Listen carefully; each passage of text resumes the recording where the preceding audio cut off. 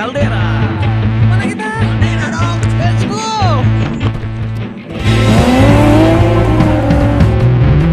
Selamat sore guys. Tolong.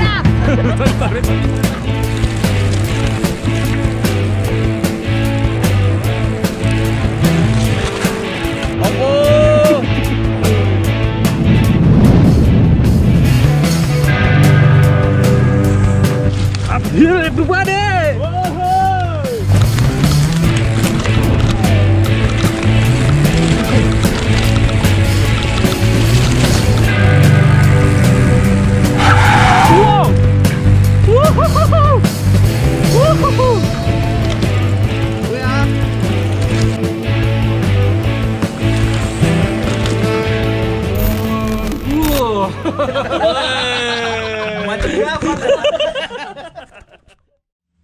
Nah, balik lagi nih bersama saya Gunawan dan ini ada Bang Budi dan Om Ari.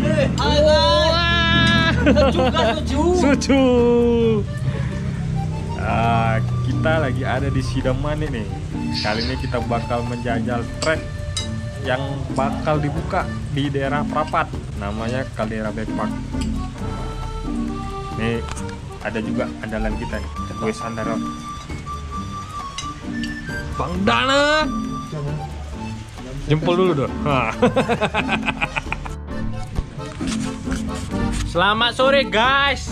Kita lagi di Wisma Sidamani. Nah, ini kita ada di kebun teh sekarang posisinya guys. Oh. Aslah pung pung aspung. Ini yang punya kamera GoPro-nya guys. Eh, bu, punya apa mes? Penjaga mes? Ya, penjaga mes mana ya? Itu itu guys tuh. seger dia Berat juga. Kenal pot dump truck nih bang ya.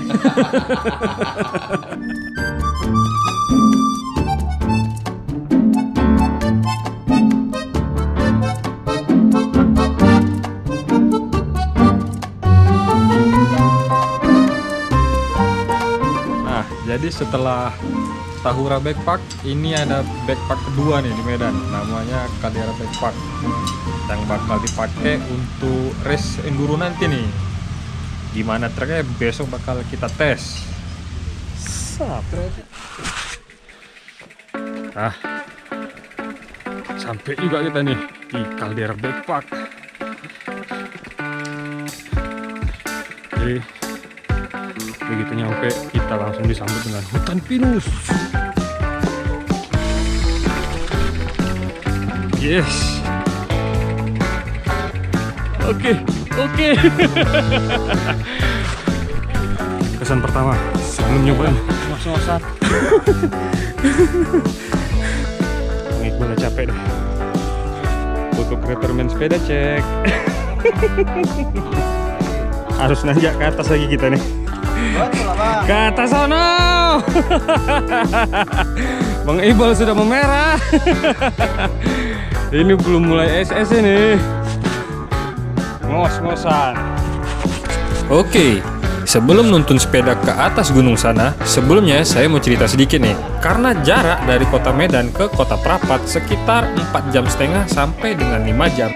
Kami pun memutuskan untuk nginap nih di kota Sidamanik yang jaraknya sekitar satu jam setengah lagi nih dari kota Prapat. Karena itu nih, pagi-pagi tadi jam 7.30 kami sudah berangkat nih dari kota Sidamanik menuju ke kota Prapat supaya dapat mengejar test track pada jam 9 nanti nih kawan guys. Nah, sesampainya di trek pas tepat jam 9, kami pun langsung naik ke atas gunung tadi nih kawan guys yang jaraknya kurang lebih 45 menit nih dari titik start. Jarak yang lumayan nih untuk dorong sepeda di awal start. Aku minta ditarik nanti, tolong. minta ditarik. minta ditarik.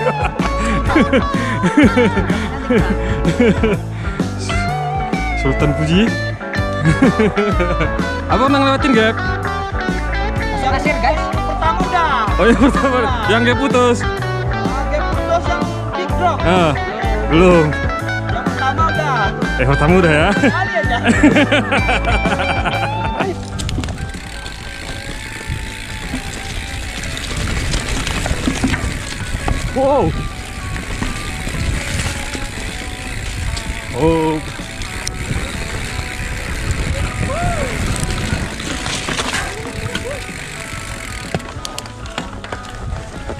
Nih, pedalin sedikit di SS1 di depan Tasmono Up here everybody!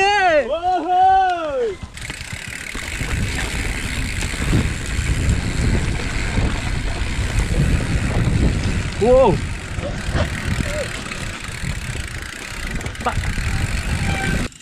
Gue ya.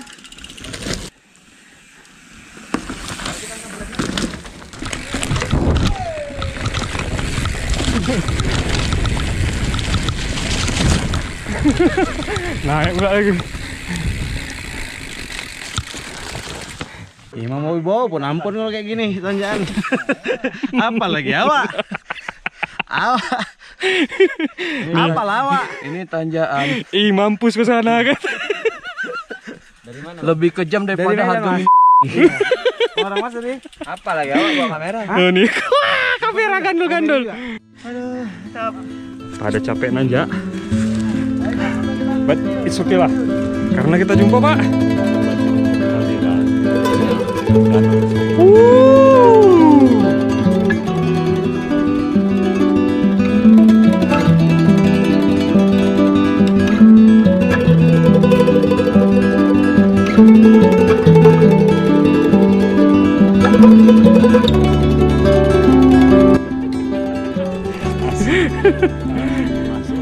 Nih Danau Toba nih, keliling.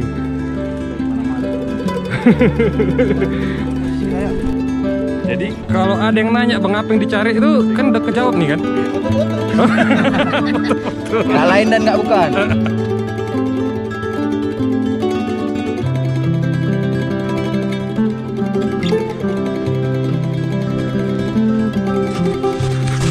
Nih kalau view ini juara nih. Ke atas ini butuh perjuangan yang luar biasa. Aku nengok tanjakan ke bawah tadi tuh ngenes sekali aku. Hilang sarapanku. Bang, ada nasi bungkus bang. Banyak.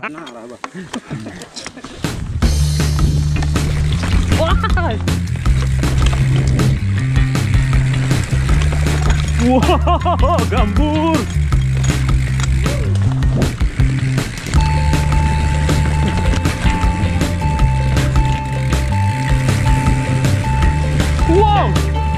Woohoo.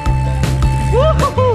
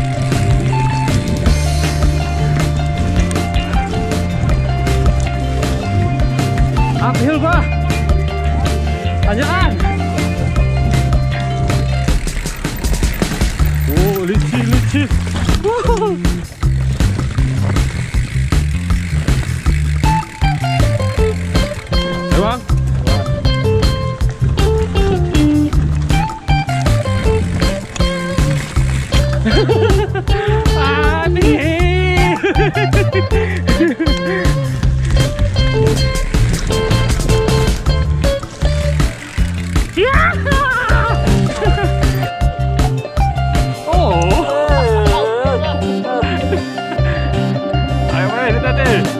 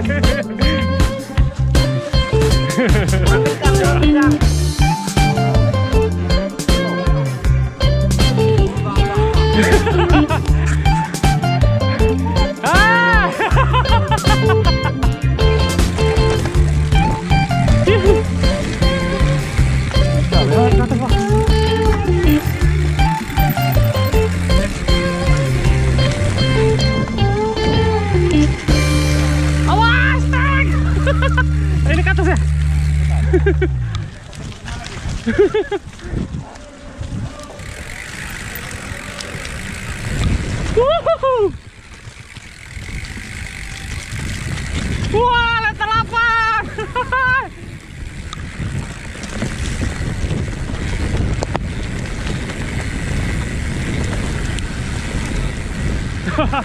예.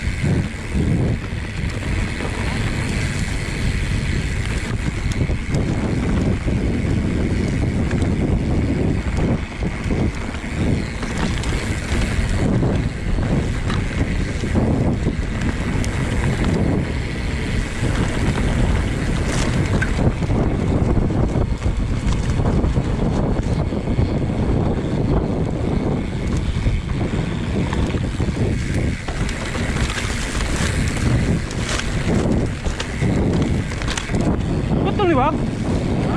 Kok kemarin tembus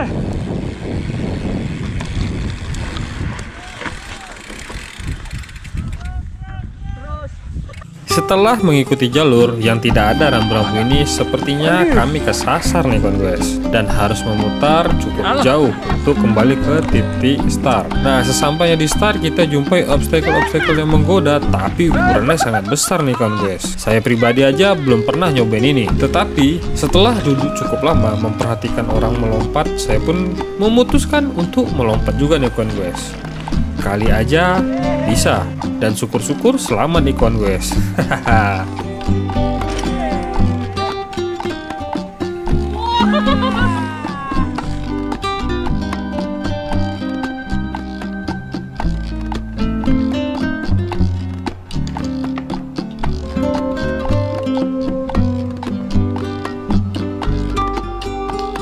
Nah, jadi setelah lompatan yang ala kadar tadi, semua peserta yang ada di trek kaldera disuruh pulang nih sama panitia guys. Dikarenakan izin yang mereka dapat hanya sampai jam setengah 12 nih kawan guys. Jadi karena waktu itu sudah jam 12 kurang 15, jadi semua peserta harus mengosongkan trek nih kawan guys. Termasuk kami yang baru sampai mau tidak mau harus mengikuti peraturan dan pulang nih kawan guys. Nah sebagai peserta kami maklum nih karena di masa pandemi kayak gini izin untuk keramaian memang rada sulit nih kawan guys. Jadi ya mau gimana lagi? Walaupun kami sudah menempuh waktu 12 jam nih untuk perjalanan pulang pergi menuju kaldera tapi ya mau gimana lagi lah?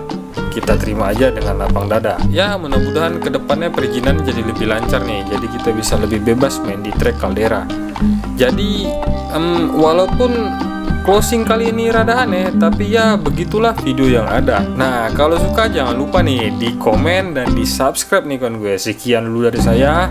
Sampai jumpa